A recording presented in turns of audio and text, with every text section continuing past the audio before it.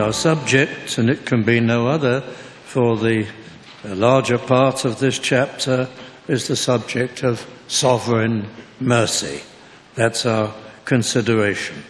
Now, Paul has been distinguishing between the physical Israel and the spiritual Israel. And there is a great difference between the two. He has distinguished between those who are literally descended from their father Abraham and those who are spiritually descended. Those as only physical descendants but have no spiritual life, and those who have spiritual life. The chapter began with Paul's longing for the salvation of all who are of Israel. I say the truth in Christ, I lie not. My conscience also bearing me witness in the Holy Ghost, we considered that threefold assurance that he means exactly what he says. Verse 2 that I have great heaviness and continual sorrow in my heart. It could not be expressed more strongly. It's continual, it's always there, his great burden for his countrymen. Verse 3 For I could wish, but of course it is impossible, I could wish even that myself were accursed, separated from Christ, for my brethren, my kinsmen, according to the flesh. Although it is surprising because the leading Jews had made themselves Paul's bitter and vicious enemies, and they hounded him and they sought his assassination. And on various occasions, they so badly treated him. And yet, he's able to say these words All his concern and compassion is for their salvation. And then he described the advantages that they had had. And yet, coming down to verse 6, despite their rejection of God and of Christ, he says, Not as though the word of God hath taken none effect. Of course, many Jewish people were saved, but many more were not. But it's not as though the word of God has been fruitless in making promises to them and so many promises and prophecies and so many cries of salvation. Because not all are spiritual Israel. There's a difference between the physical and the spiritual. Second part of verse 6 For they are not all Israel which are of Israel. And then the argument continues with examples of children of Abraham who are not to be regarded as godly, and those who were the children of the promise. So there are examples of this principle that not all who are physically of, of Israel, descended in the long term from Abraham, are spiritually like him. And then we come down to uh, the examples of Esau and Jacob. And I come down to verse 13. Esau, of course, was rejected by God. Verse 13 is a, a quotation from Malachi, which is in the context of the judgment of Esau and so many of his posterity. As it is written, Jacob have I loved, but Esau have I hated, which means that he came under judgment for his life and his rejection of divine things. Of course, Esau was contemptuous of God. He was hostile. He was rebellious and disobedient. We see the example in the taking of his Canaanite wives. He rejected the message of his father Isaac and the things for which he stood. He's described in the letter to the Hebrews as being a profane man, a man who had no holy reserve, no holy of holies, no principle of guidance. He was violent and sensual, and he came under the judgment of God. But Jacob, when we read the history of Jacob from the beginning, he had his most uh, offensive manner and ways also. And he was a deceitful man. And yet God had determined to save him and set his love upon him and to shape him. And so, in the history of Jacob in the Old Testament, which is recorded at great length, you see God working in the life of Jacob. He drew him to himself, probably at Bethel, the place that he so named, where he saw that communication, the uh, bridging between God and man, and he changed him over time and made him increasingly faithful. He set his love upon him. And so we can read in verse 14 here, what shall we say then? Is there unrighteousness with God? Is God unrighteous to pass by Esau and judge him justly according to that which he deserved? He had utterly rejected God and yet not to pass by Jacob, but to determine to save him and to work in his life. Does it make God unrighteous to punish one and not the other? And the swiftest answer to that is most certainly not. It does not make God unrighteous because God punished both. He punished Esau and he punished Jacob. But God, in his astonishing mercy, punished Jacob in Christ, and he was punished instead of Jacob. Well, you know well the doctrine of the atonement. God cannot be accused of being unjust because he punishes all, either in us or in Christ, our atoning Saviour our Redeemer. And so the charge of God being unjust cannot be made. What shall we say then? Is there unrighteousness with God? Sometimes we alter the charge. We say, no, I, I, don't suppose there is unrighteousness with God, but is there some other form of unfairness? And the Apostle Paul will answer that in due course. But I'm going to move quite swiftly through these verses until we get to verse 22, because verses 22 to 24 are among the most profound in the New Testament.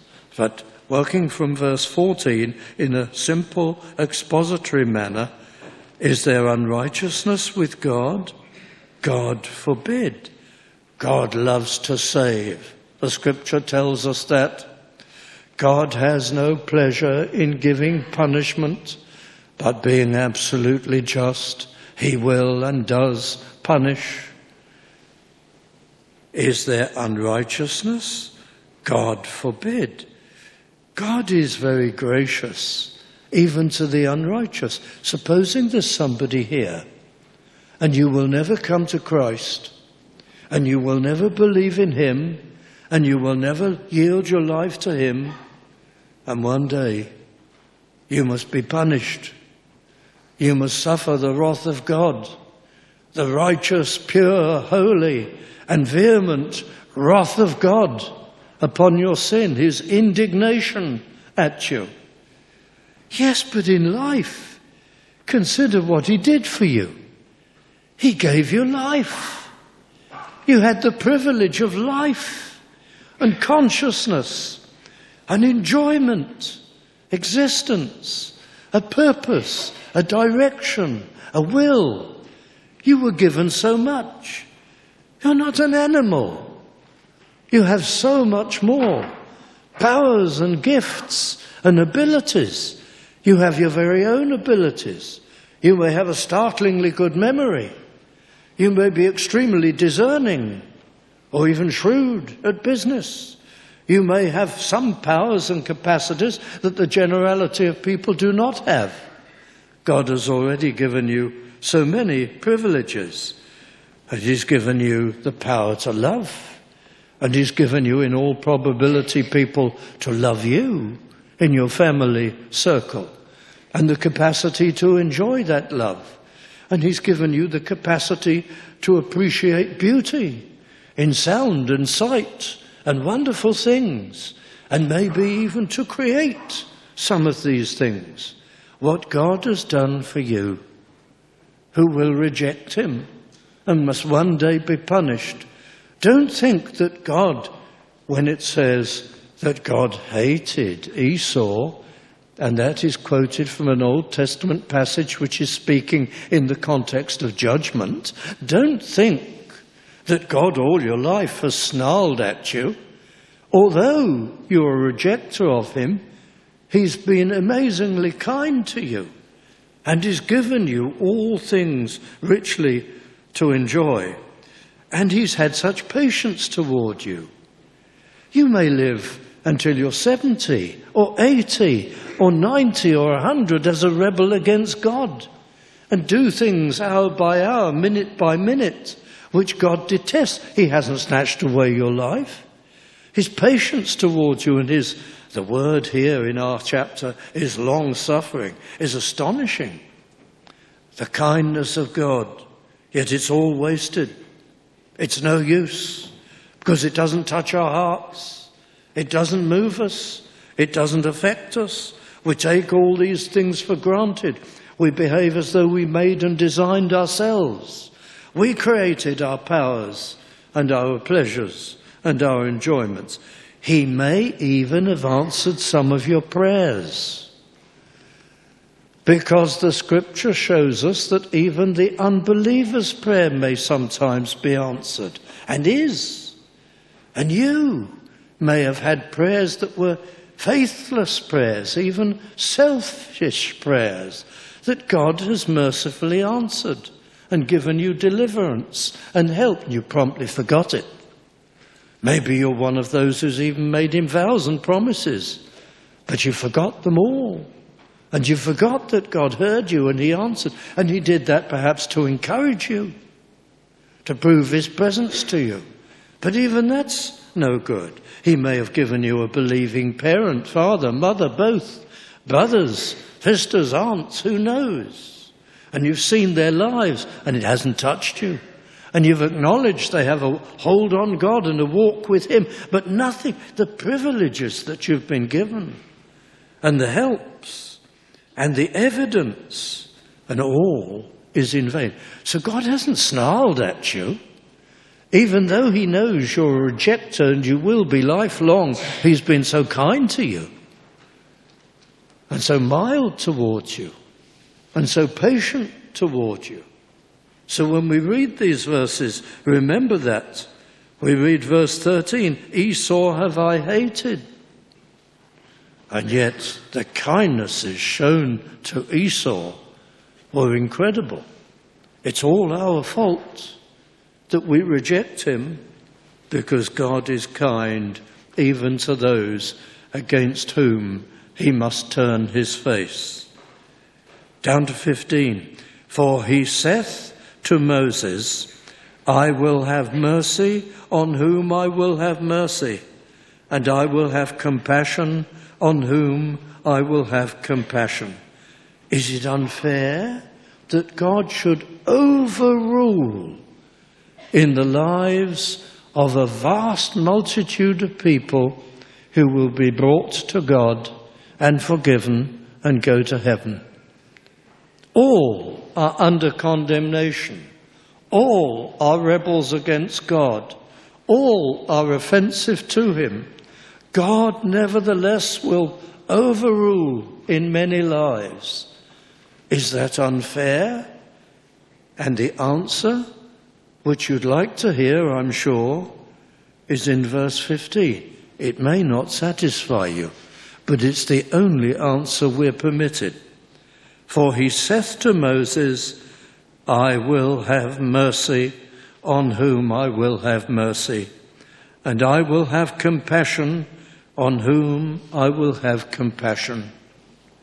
I am God, he says. My will and my mind is faultless and perfect. I am God over all. You cannot question what I do. What is fair, strictly speaking, in human terms, is that no one should be forgiven No one should be saved. No one deserves a drop of mercy. What is beyond fairness, far, far beyond fairness, is that God will overrule in sheer mercy and kindness and grace in countless, countless lives and draw us to Himself. We can't question beyond that. It's the amazing mercy of God. Verse 16 So then, it is not of him that willeth, nor of him that runneth, but of God that showeth mercy. Of course, in a sense, salvation is of him that willeth, because the way God works in our lives is to make us willing and to make us feel our need of Him and to make us desire salvation in Christ. But if He didn't bring that about, we would never seek Him. So the verse is absolutely true. So then it is not of him that willeth, of himself, nor of him that runneth, works, and deserves the favour of God, but of God, from God, that showeth mercy, and he inclines the heart and the will and turns us to himself. Now, verse 17. And the argument shifts. For the scripture saith unto Pharaoh, Even for this same purpose have I raised thee up, that I might show my power in thee, and that my name might be declared throughout all the earth.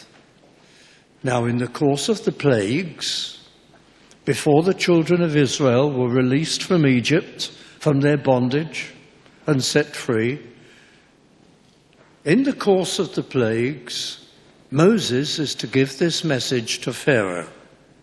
Even for this same purpose have I raised thee up, that I might show my power. Now, what is the meaning of this? Well, of course, during the course of the plagues against Egypt, Pharaoh could have been destroyed at any time. The plague showed that.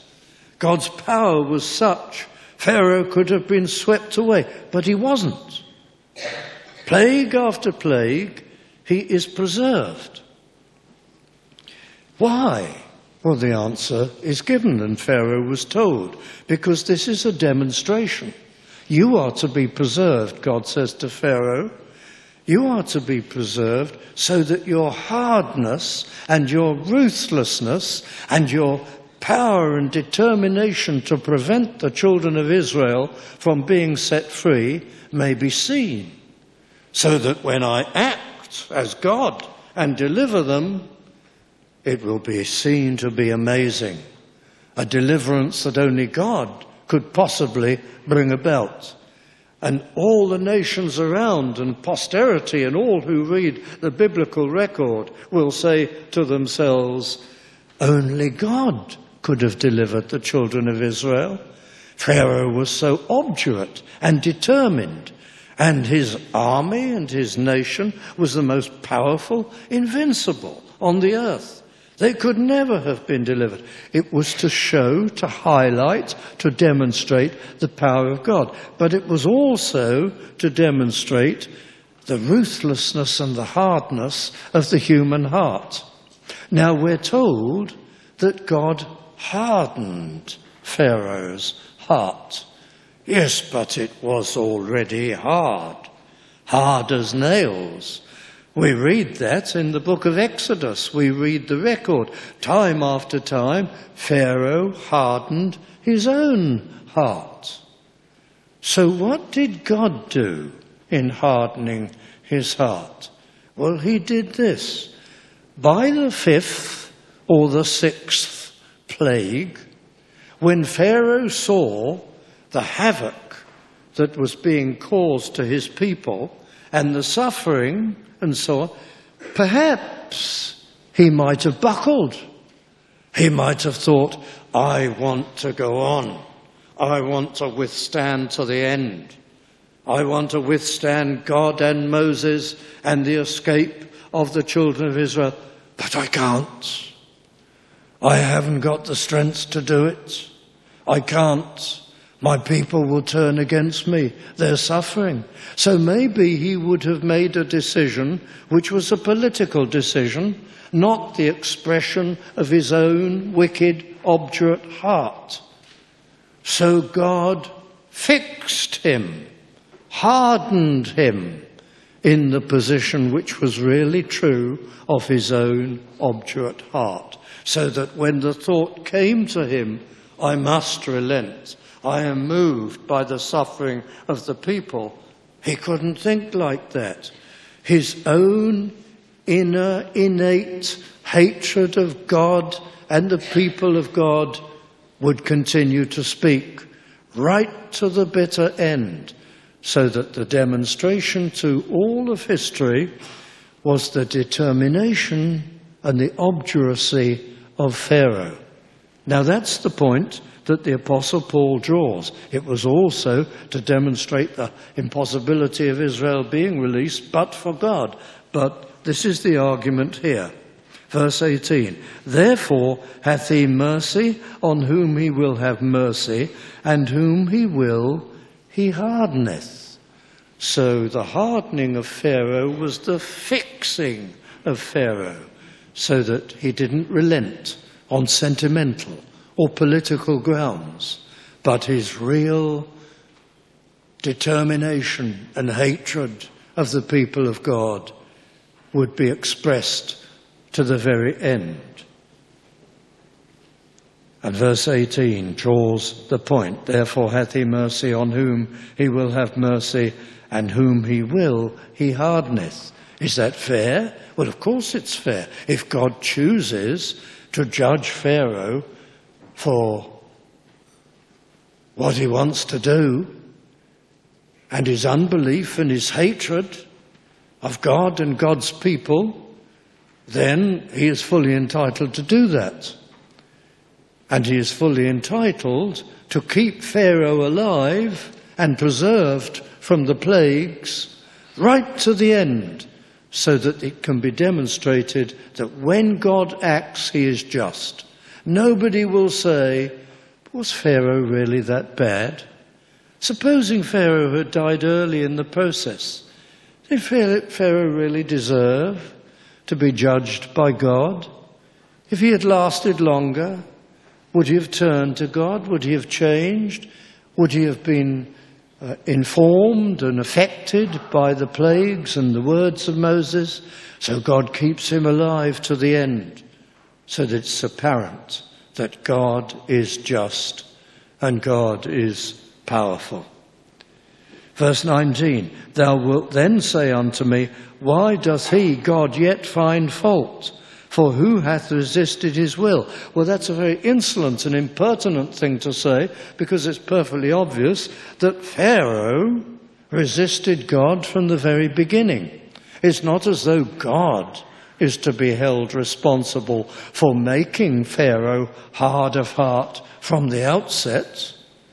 God's part in this is that he passed Pharaoh by in the overriding of sin and the giving of mercy. He blesses some and he passes others by. But it's quite wrong to say then God was in, that makes God responsible for all Pharaoh's sin. Verse 20, Nay, but, O man, who art thou that repliest against God? Shall the thing formed say to him that formed it, Why hast thou made me thus? Hath not the potter power over the clay? It's an illustration. God, his will is perfect. And we cannot question why it is that he allows some to go all the way to judgment and he intervenes mercifully in the lives of others and turns them to himself. Now I want to come down to verse 22 because uh, although we're time is passing quickly. Verses 22 to 24, as I said, are among the most profound in the New Testament. It's one sentence. Even so, it's not the longest of sentences from the Apostle Paul. There's even longer ones. In this long sentence, verses 22 to 24, there are three works of God mentioned. They all concern his sovereign right and activity. I can't think of a good illustration for this, but, and I'm certainly no kind of businessman, but supposing you said to a large business or to the CEO of a large business, What's your purpose? You take a firm like Tesco. Supposing a few years ago you'd have said to the CEO, What's your purpose? What's your objective? Now, I suppose he could have replied along these lines Our purpose is to set up a superstore in fields just outside every town, every city, and draw the people out and provide lots of parking and all the rest of it. And maybe, if this was his policy, I don't know, when we've accomplished that, then we'll mop up in the city centres. I don't mean this to sound hostile to Tesco. Then we'll mop up the city centres by having uh, smaller branches there. And so, well, he may describe his policy, his objectives. And then you say to him, Yes, but forget all that. What's your most fundamental, basic policy? And his answer, I suppose, would be, well, to make money for our shareholders.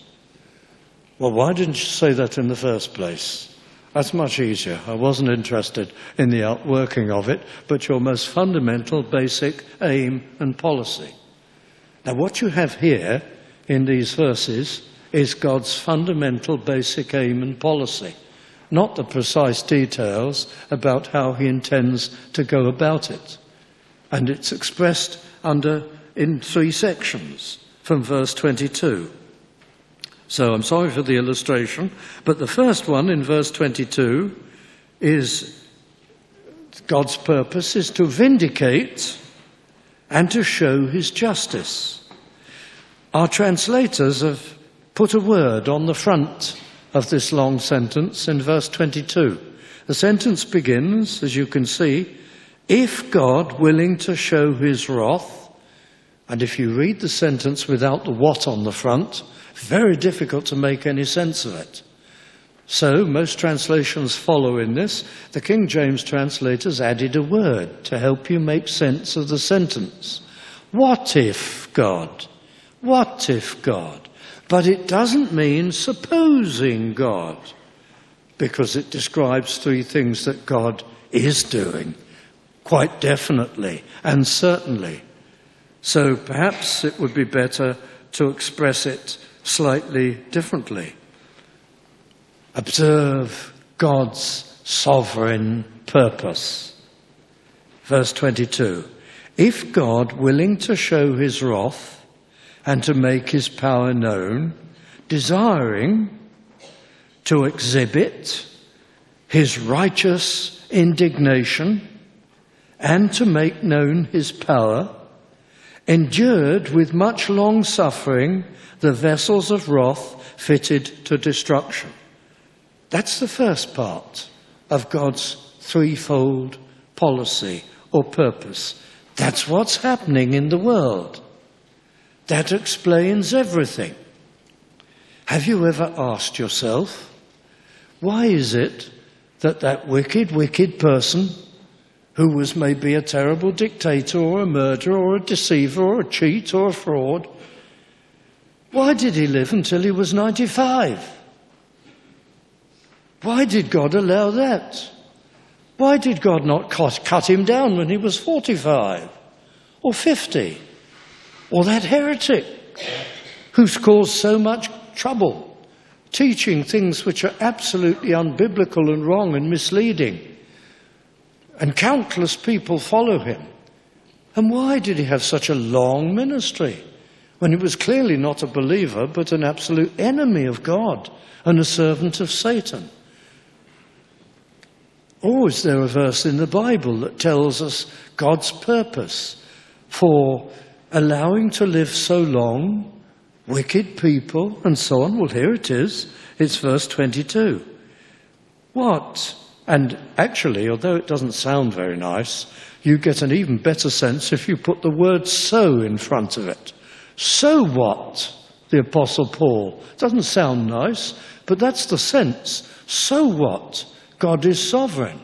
This is his perfect will. This is what he's chosen to do. So what if God, because he desires to show his wrath, his, how righteous his indignation is, and to make his power known, endured with much long suffering, with immense patience, the vessels of wrath, the people who are going to condemnation, fitted, prepared to destruction. In other words, in their long lives, they are being increasingly fitted, prepared for righteous judgment. So that just as everybody could see what a hard, wicked person Pharaoh was, because God preserved him so that he could go on resisting him, and therefore God's righteousness in judgment was so obvious and clear, so it is here. God, with much patience, puts up with the evildoers so that the day of judgment will be shown to be righteous and perfect. Nobody will be able to say, but if, say, all evil people died early, but they might have repented. But there might have been a mellower side to them, a soft centre. And God didn't let them live. He did let them live. So that it should be demonstrated that God is righteous in his judgment. And that's what's going on in the world today. You see the world, you see it, wicked organizations surviving, wicked people surviving, wicked policies being carried out for years. You say, oh, what is this or that government done now? Is it not amazing that God has not delivered some great judgment to that country or to this country on account of such and such? Well, this is the policy, the purpose of God, that He, His justice, when it does come, will be seen to be absolutely righteous. And people will have been proved to be as wicked as God says they are. And that is why. Mark you, judge, God's judgment often does come in life. For instance, when God throws down an empire which is godless and wicked and evil, it's usually survived for a very long time. Its uh, wrongdoing is plain to see. The persecution of Christian people in the old Soviet Union went on for a very long time, and then God threw it down but by the time it disintegrated, it was obvious to everyone and to posterity just how unbelieving and atheistic and anti God it was. And so, even in our country, who knows how God will leave in force evildoers who promote godless and anti moral policies so that his judgment will be clear. But often he will sow it down even before the day of judgment. And one after another, all wicked empires and enterprises have fallen. And God in such a way that God has been vindicated. Who knows whether Christ will come or we will see great events taking place even before he comes that vindicate the Word of God and God's righteousness and demonstrate the wickedness of human conduct, who knows?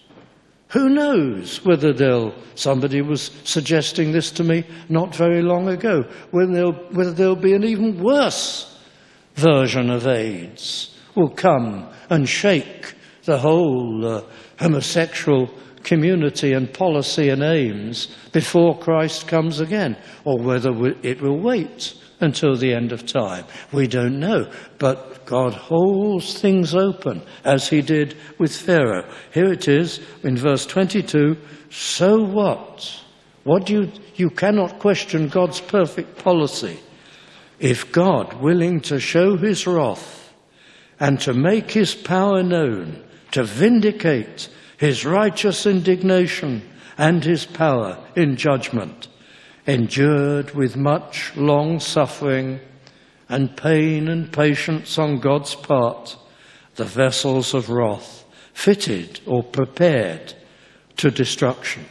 And then the second point here is in verse 23 and this is a separate point. Some translations, modern translations, insert the words in order that. And they don't usually put it in italic to show they've inserted words. They've tried to make the sentence make sense in an English way.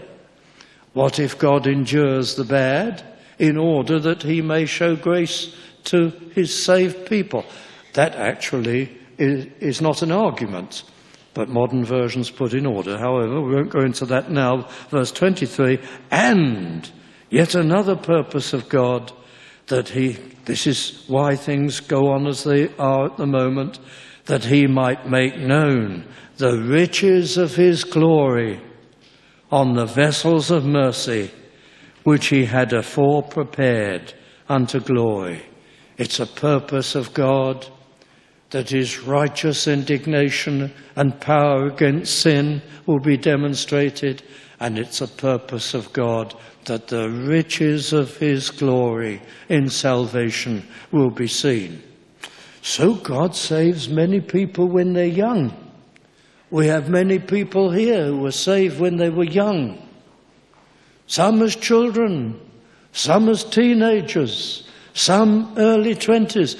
And we have people here who weren't saved until they were in their roaring 40s, or their 50s, or their 60s, or their 70s, who tasted so much of sin and had demonstrated so much rebellion against God and had spurned him and slandered him.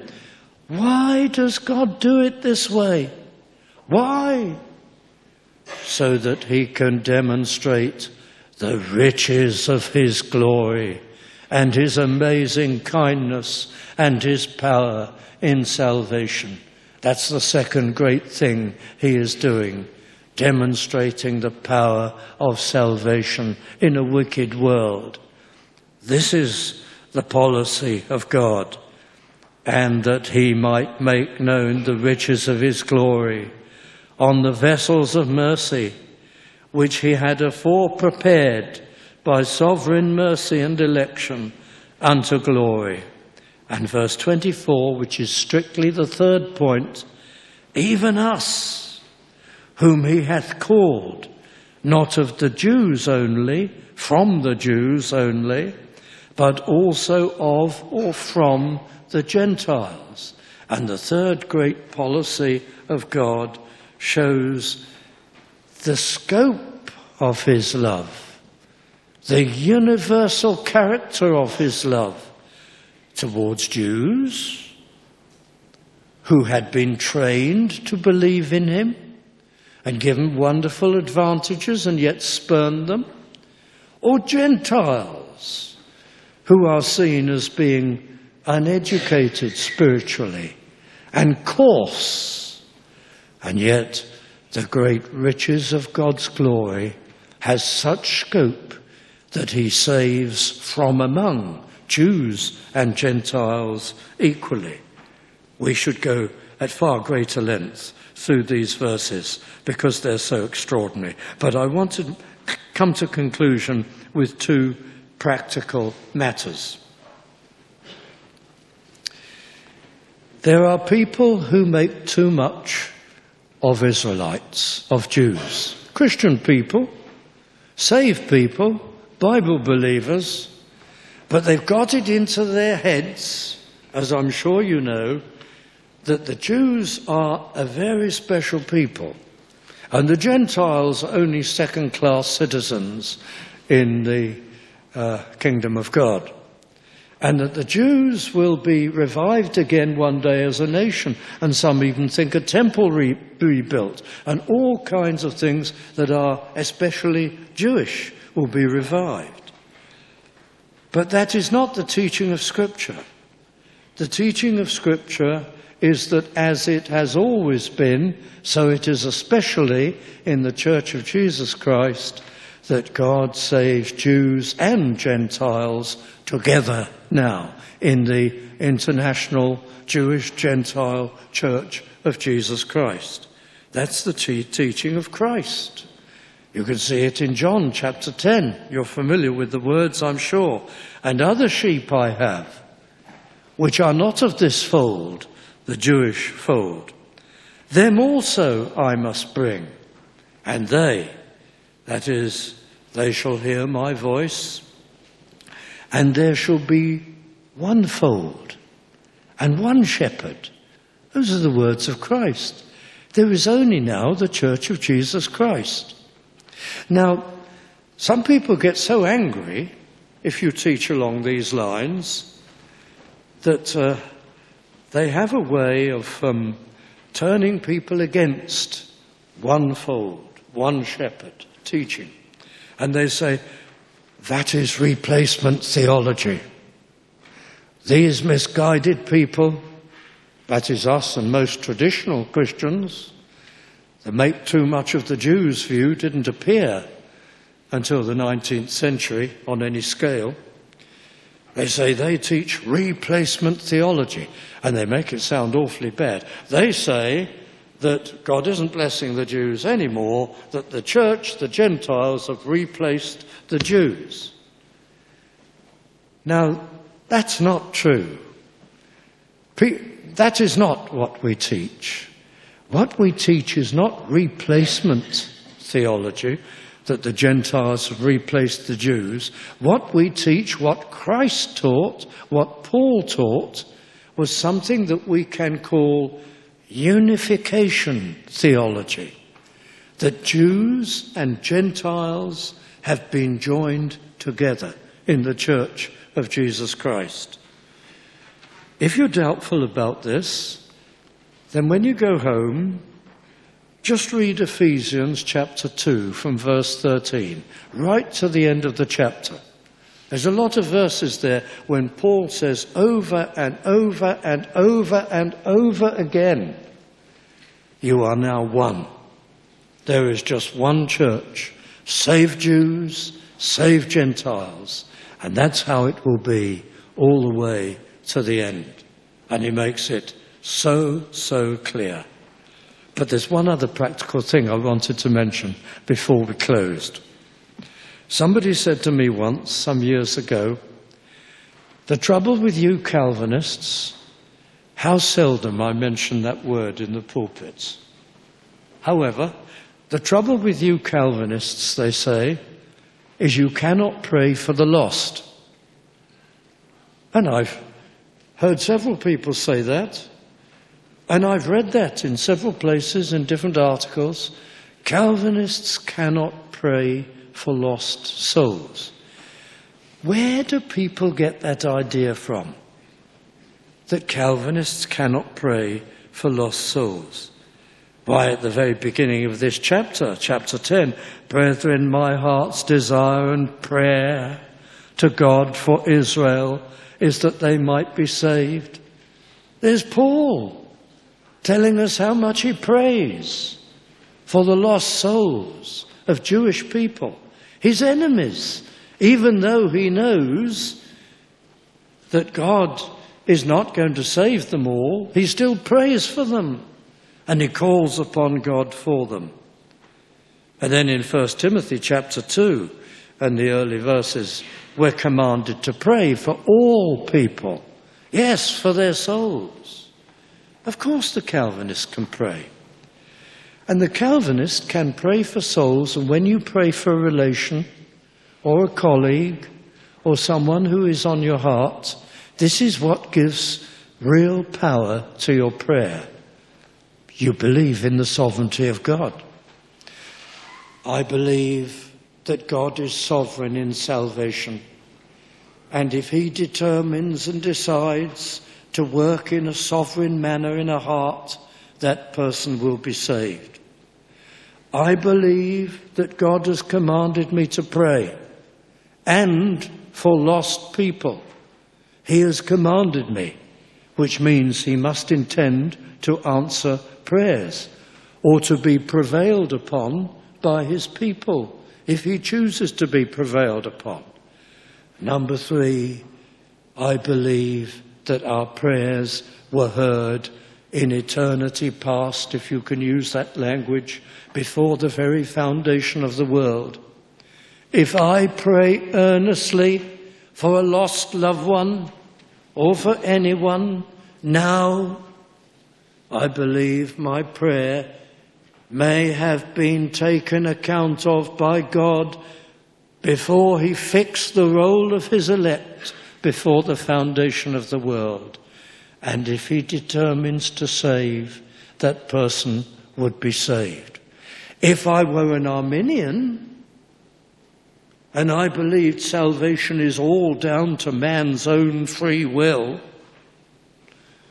I couldn't pray with that degree of confidence. I would have to say, I will pray to God to save my loved one, but the hands of God are tied because my loved one can resist him. And even prayer to God may be no good because God may choose to save him, but because I believe somehow that he's got absolute free will, he can resist God. So I can pray with even more confidence as a Calvinist than I could ever pray as an Arminian. Now, dear friends, my last comment, because you've been so patient. Listen to this, friends. We've been looking at God in His sovereign mercy, overruling in our lives and determining to save us before we were even born. We deserve nothing. We owe everything to the mercy of God. How are we living? Have you got a hard heart? And you don't pray much for other people, and you don't sympathize and you don't call upon God, and you don't put Him first and you don't serve Him most, when I owe everything to Him, I can't say, no, I was smarter than other people because I decided for Christ.